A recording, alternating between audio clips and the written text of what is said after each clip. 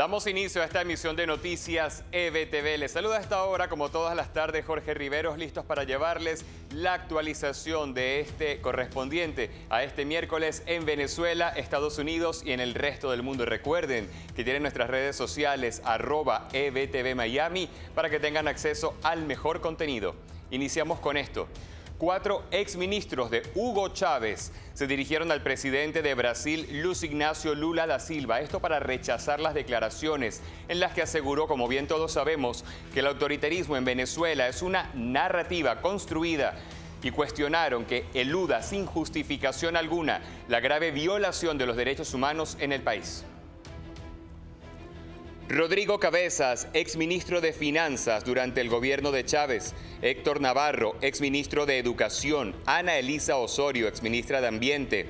Y Oli Millán, exministra de Economía Popular. Todos militantes, según ellos, de la llamada izquierda democrática y progresista pidieron a Lula y su gobierno ser consecuentes con una salida democrática a la crisis política, económica y humanitaria de Venezuela. En la carta dirigida a Lula, quien mantuvo estrechas relaciones con Chávez y su gobierno, los exfuncionarios considerados parte del denominado chavismo disidente negaron que la deriva autoritaria y por tanto antidemocrática de Maduro sea una narrativa construida. Y continuando con esta ola de reacciones que se dan tras estas declaraciones del mandatario brasileño, el candidato de Primero Justicia a la primaria, Enrique Capriles Radonsky, rechazó estas declaraciones emitidas por Lula da Silva, quien, como ya se los hemos dicho, dijo que el autoritarismo en Venezuela es solamente una narrativa construida por los medios. Lula viene de la lucha de los trabajadores y es importante que ustedes y yo, si tuviera Lula enfrente, le preguntaría qué piensa él que un pensionado gane menos de 5 dólares al mes. ¿Cómo calificarían los brasileños si el gobierno de Brasil pagara un salario mínimo de 5 dólares al mes? Ese es el salario mínimo y la pensión en Venezuela. Y eso no es una propaganda, eso no es una narrativa, eso no es una retórica, eso es una realidad. Y pretender ignorar, por muy de que haya un escenario y de acercamiento que él quiera eh, tener con Maduro, la pregunta sería si él defiende a Maduro o defiende a Venezuela, si él defiende los intereses del pueblo venezolano o defiende un status quo que existe en nuestro país que los grandes perjudicados son los venezolanos, especialmente los más pobres y la clase media que prácticamente ha desaparecido. Declaración que se encuentra publicada en la cuenta Twitter de Enrique Capriles Radonsky.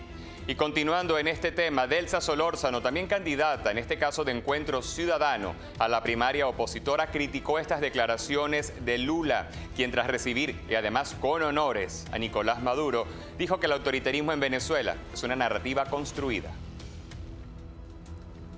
Solórzano dijo, fue vergonzoso haber visto al dictador de Venezuela en Brasilia, pero más eh, lo peor fue escuchar a Lula decir que lo que sucede es un discurso o una narrativa. Dijo que es igualmente lamentable que haya presidentes del mundo que fueron electos democráticamente que sirvan para amparar este tipo de conductas. También reprobó la postura del presidente argentino Alberto Fernández, quien en el marco de esta cumbre en Brasilia sostuvo una reunión bilateral con Maduro.